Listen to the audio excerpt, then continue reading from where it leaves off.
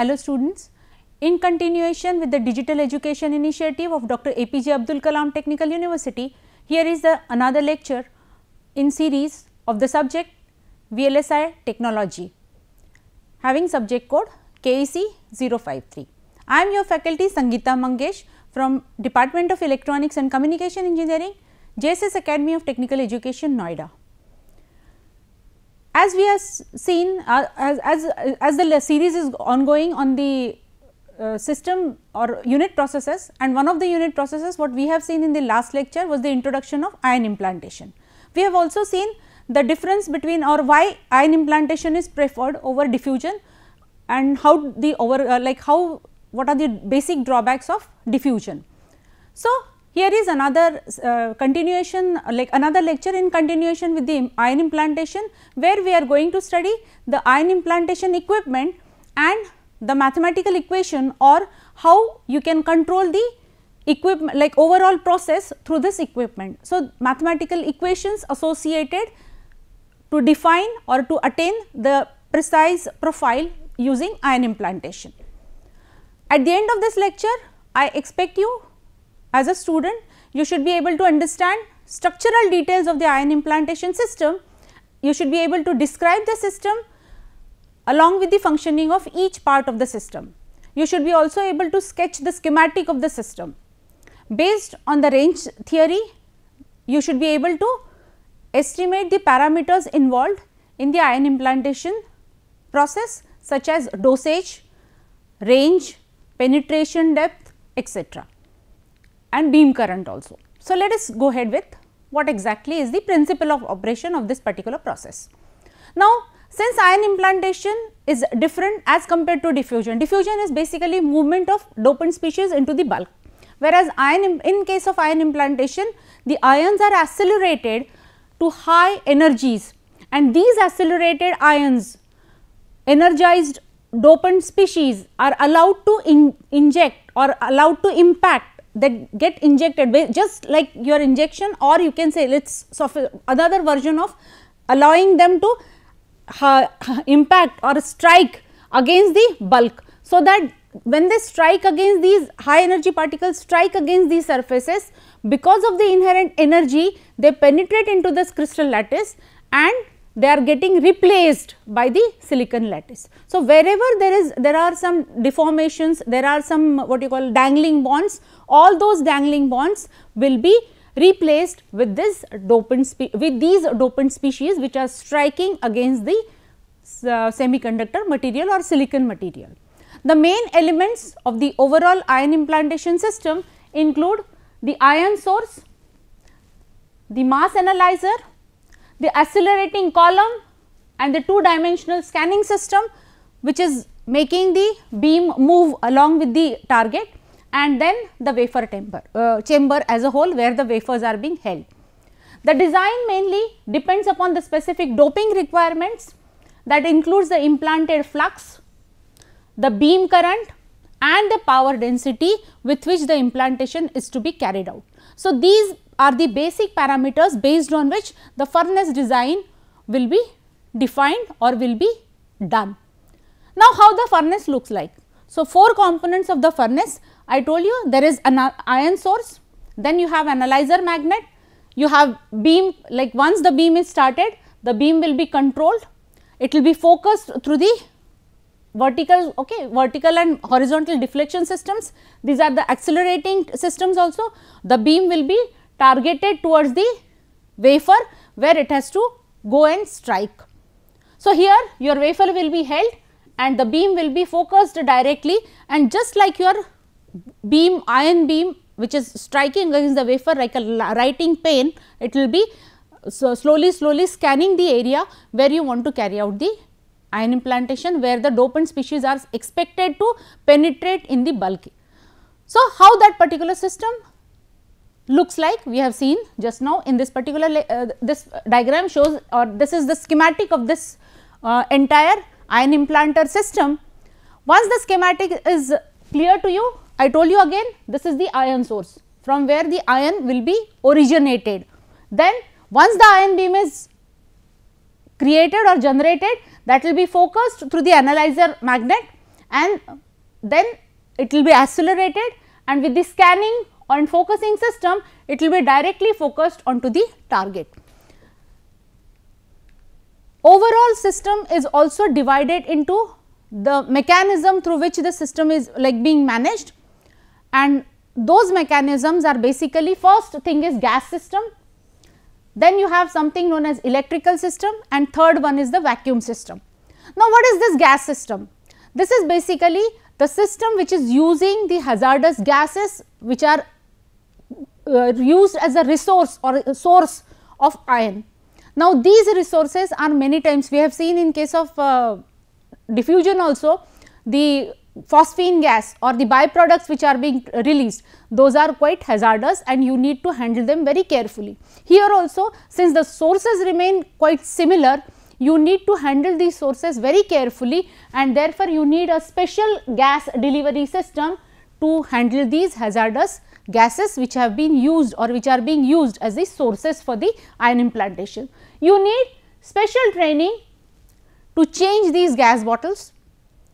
Normally, argon is used for purging the beam or as well as purging as well as beam calibration. You need to calibrate the system so that the target is exactly covered and in order to calibrate this particular mechanism of scanning we use argon which is inert gas and then we once the system is calibrated then the actual dopant species will be used for use uh, carrying out the ion implantation process. Electrical system comprises of high voltage ion energy that controls the junction depth. High voltage system that determines the ion energy and uh, thereby the control whatever is the penetration depth that both the things like junction depth also and ion energy also. Then you need RF system because some uh, uh RF system also uh, are used in some cases for generating the ion sources which are used for ion implantation.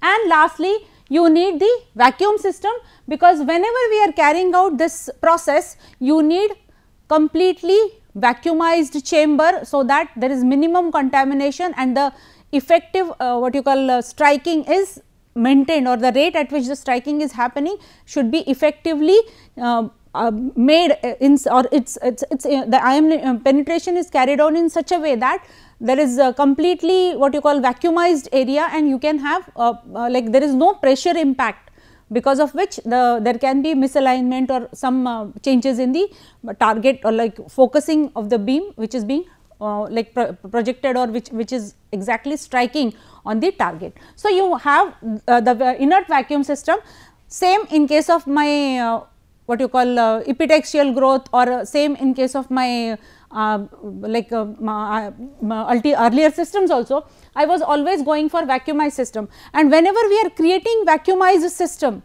whenever we are creating vacuumized system, you have to remember that we have to remember that the this particular vacuum condition creation is a Herculean task.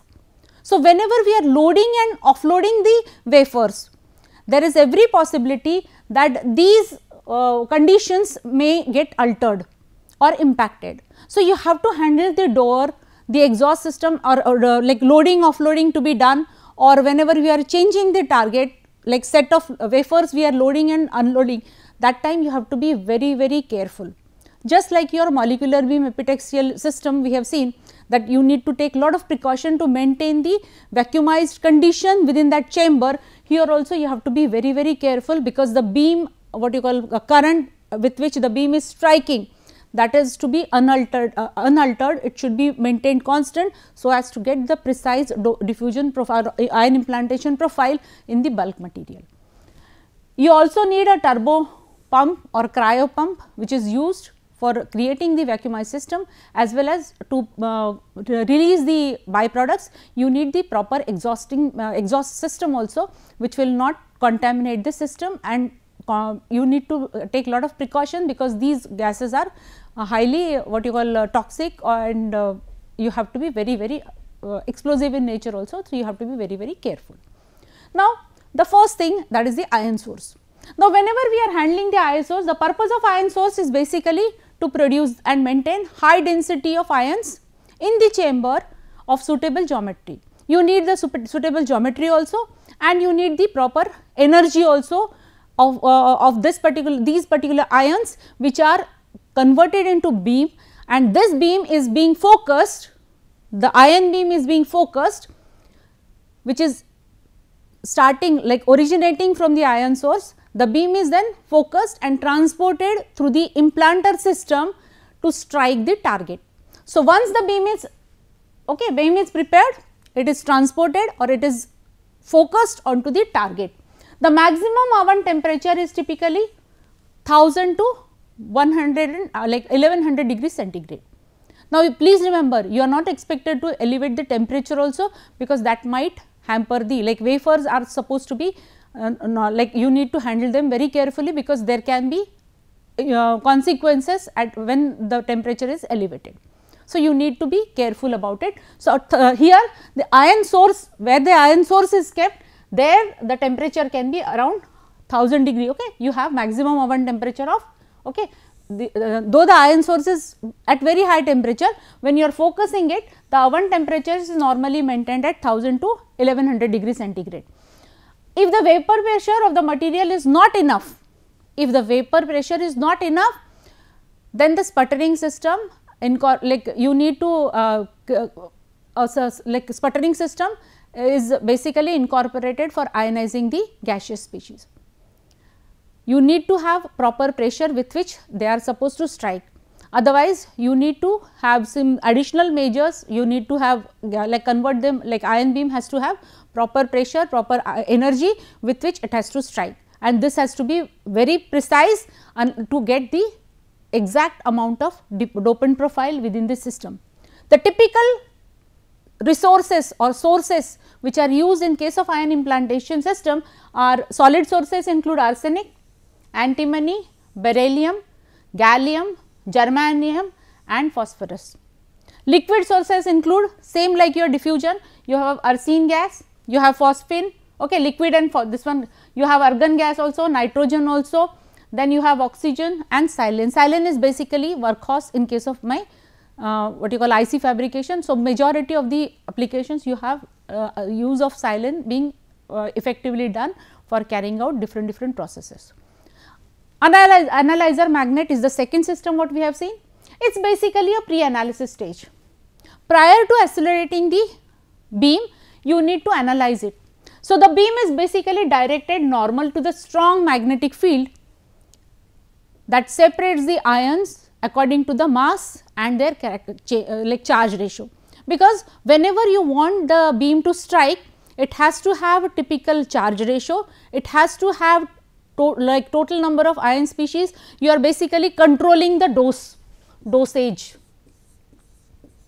So, this dosage has to be very precise and this dosage control can be effectively done prior to acceleration stage. So, that job is being done by the analyzer magnet. The magnetic field basically deflects the species at an angle of 60 to 110 degrees typically okay. and and it is done such a, in such a way that the ions which are passing through this particular magnetic field are adjustable resolving like the and are made to pass through the aperture and that aperture is having very small dimension that is 1.25 to 5 centimeter while other species are screened out. So, non what you call those in a like lower energy species are typical. So, you are defining the dosage, you are defining the dosage, you are defining the or precisely maintaining the dosage with which the ions are expected to strike the target and that job is being done by the analyzer magnet. Okay. So, once so first you have created the ion source. Now, you have ensured that the ion source is having proper what you call magnitude it has in terms of it has got proper number of charge species within that area that means your dosage is proper so that with the same amount of charge species having specific charge will strike the target and will thereby we will be able to attain the penetration depth. Okay. So, this is what is the purpose. So, mass basically the mass resolutions of 60 to 100 are adequate for ion implantation for uh, of dopant species and the resolving power de depends upon the energy, the spread of the ion source and the beam diameter and the aperture width through which the beam is passing. Now, once the job is being done, there is another system called accelerating column. Now, what is being done in this accelerating column? Now, this accelerating column is appearing post magnetic field. Now, once you have analyzed made your uh, system proper, you are accelerating it so that it is striking the target with exact okay, exact kinetic energy. Then it is not supposed to only strike, it is supposed to cover the entire area within which you are supposed to have the okay. This is the area where I need the diffusion to happen. So, I need to cover the entire area and therefore, I have to scan that area and that job is being done by the scanning system. The beam is then swept across vertical and horizontal direction so that it distributes the dopants homogeneously over the surface of the wafer which is mounted onto the target chamber. And this is being done by the electrostatic deflection plates or you are keeping the beam stationary many systems have beam stationary and the wafers are mechanically rotated or me mechanically moved in front of that beam so that the exact amount of energized particles are made to strike. Either you can have the wafer moving and the beam stationary so that you have this kind of motions this these are the wafers and the beam is stationary. So, wafers will be moving and the beam will be continuously striking or you will have the scanning system where the beam will move the wafers will be stationary. So, either ways you can develop your system depends upon what kind of uh, uh, methods you are adopting, how much uh, like area is being covered and how the writing is like how, what, what is exactly the dosage profile for what job you are carrying out the ion implantation. Then the last is the wafer chamber where you can support single or multiple wafers and then you can carry out okay. So, again here you need to know what exactly is the loading unloading mechanism because you need to maintain proper vacuum chamber pressure and like vacuum condition of the like uh, uh, uh, vacuum condition of the overall chamber and you need to handle it very carefully to minimize contamination during the handling so that your yield is maximum or throughput is maximum. You also have to take care of the wafer orientation, wafer tilt so, wafer orientation is basically the angle at which the wafer okay, rotation or azimuth angle you can say with respect to the plane normal to the wafer that is striking the beam.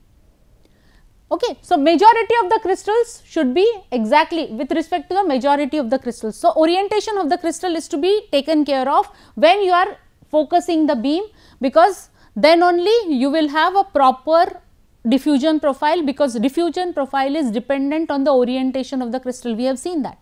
So, whenever the penetration is happening you have to ensure that the uh, angle at which the wafer orientation is properly maintained and it is the it is basically the angle of wafer rotation how the wafer is being rotated with respect to the plane normal to the wafer. That contains the beam that is uh, like the wafer that contains the beam and the reference major axis. That means this is the wafer major wafer axis this is your beam and how the beam is rotating. So, you need to know how what is the orientation of the crystal wafers which are being used for uh, dope like where you are carrying out the dope uh, like inserting the dopant or adding dopant into the bulk. So, this orientation of the crystal and the angle at which the beam is striking has to be carefully manipulated. Then wafer tilt is the angle between the beam. Okay. So, that means you need to know at what angle the wafers are to be tilted. You must know how the orientation is to be and after that you need to know exactly because once the very you tilt the wafers your channeling your other effects will get hampered the way in which the beam is or the ions are penetrating the bulk will exactly depend upon the way in which the wafer is like there is scope for the ions to move within the bulk and that is very very important. Now here is another terminology because once the ion is getting inserted into the bulk the implantation basically is the random process. When the en like energy of the ions is very high and they get bombarded through the there are two types of collisions nuclear and ele electronic. So, once the ion beam strikes it is getting penetrated randomly into the bulk and the distance which is travelled inside see this is the actual distance which, which be travelled. So, actual distance is always much larger than the projected range which is calculated as the this is the distance. But the overall since it is a random process the beam will be moving here and there like in this direction then again getting uh, directed here again getting directed. So, you have the actual distance much larger than the actual distance is much larger than the projected range and this projected range is very very important because this is what is the junction depth or this is what is going to give you my junction depth. So, whenever and that is happening because of the nuclear stopping and that is happening because of the electronic stop, stopping.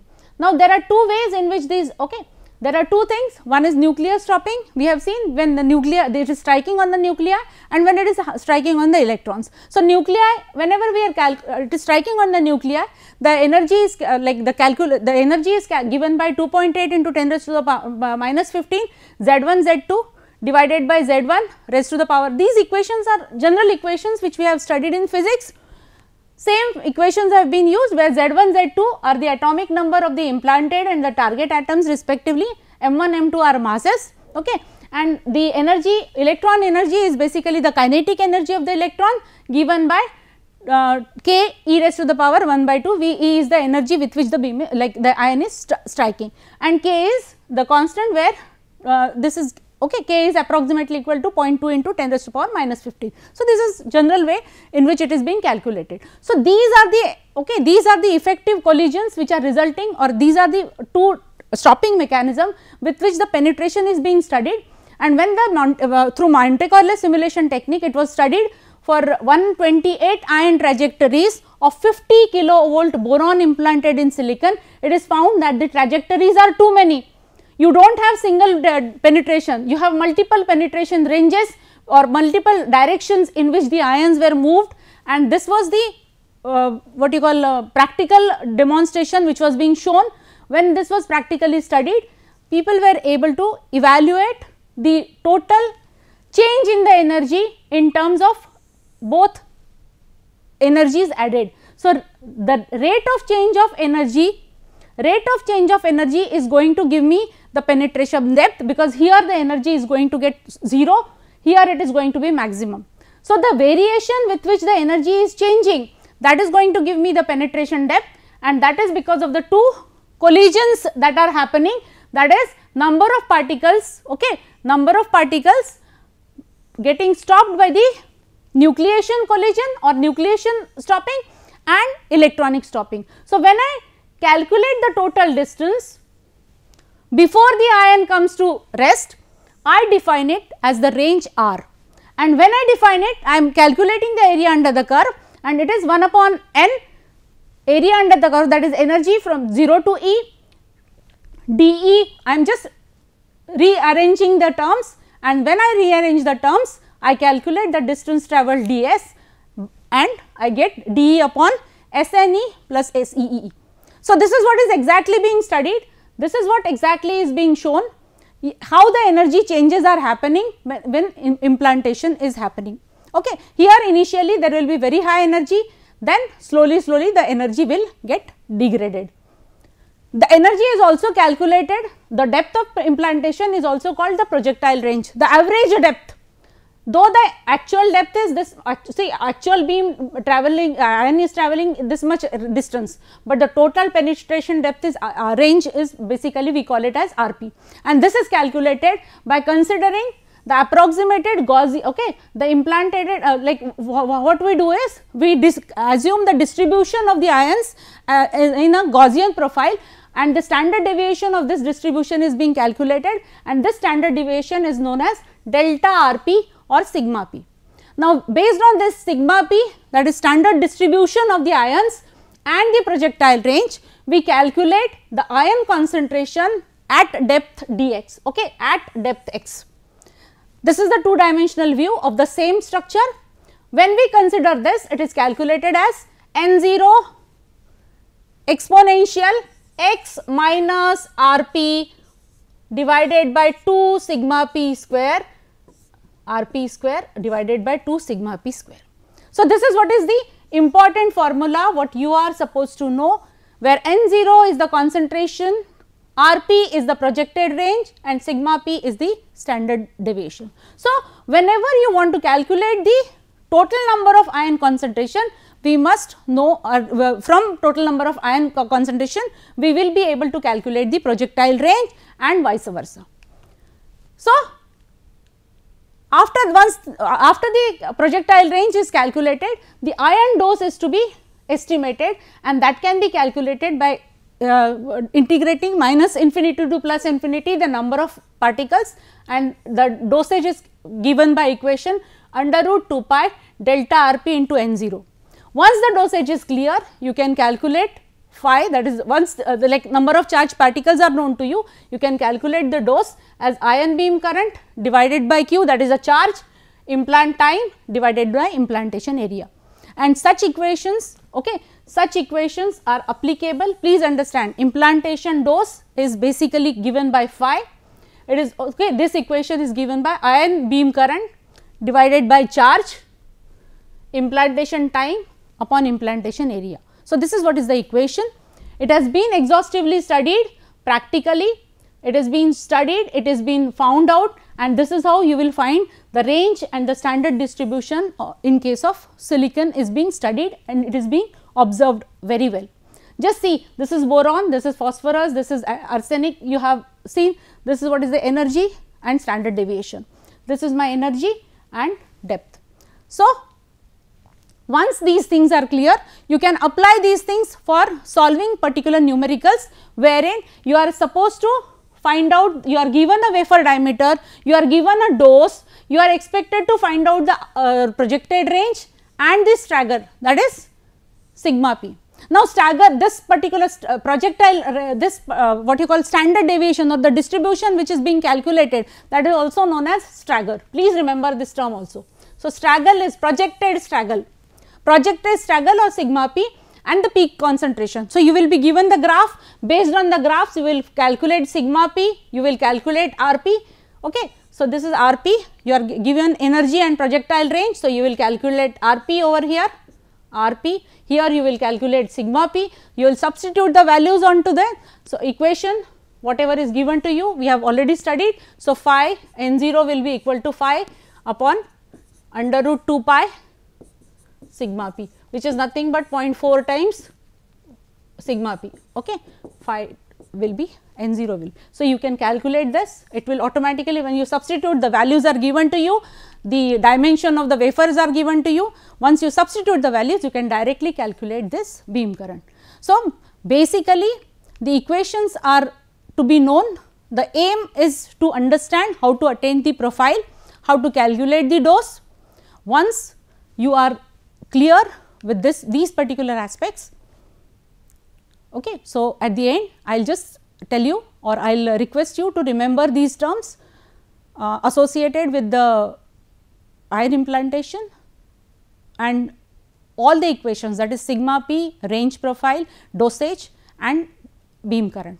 Those equations if you are uh, able to remember you will be able to estimate what is exactly the dosage required. Thank you, God bless and good luck.